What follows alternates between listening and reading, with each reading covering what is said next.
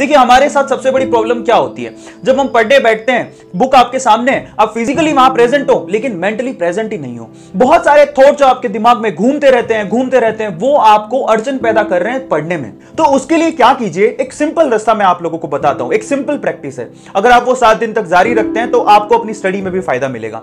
आप पूरे चौबीस घंटे में आधा घंटा ऐसा निकालिए जिसमें आपको इन थॉट्स को रिमूव करना है और अपने दिमाग में थॉट्स को आने ही नहीं देना है। ठीक है? मतलब क्या है? जरा समझिए। पूरे दिन में सुबह का जो टाइम होता है वो सबसे अच्छा होता है। आप मॉर्निंग वॉक पर निकलिए।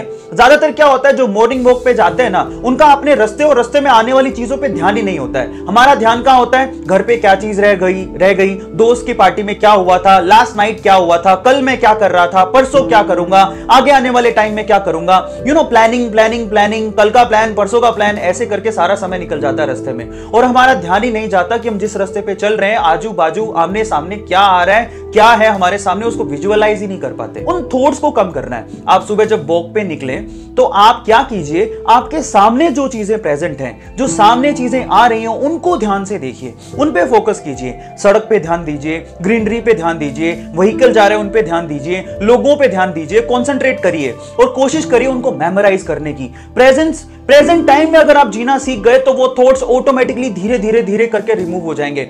आधा घंटा ऐसा निकालिए अपने पूरे दिन में जिसमें आपको ऐसे थॉट अपने दिमाग में आने ही नहीं देने हैं, जो कि अनरियलिस्टिक है। मतलब ऐसे जो कि रियली आपको दिखाई नहीं दे रहे ये बहुत ज़्यादा इंपॉर्टेंट स्टेप है, जो आपको अपनी मेमोरी को शार्प करने के लिए ज़रूरी है।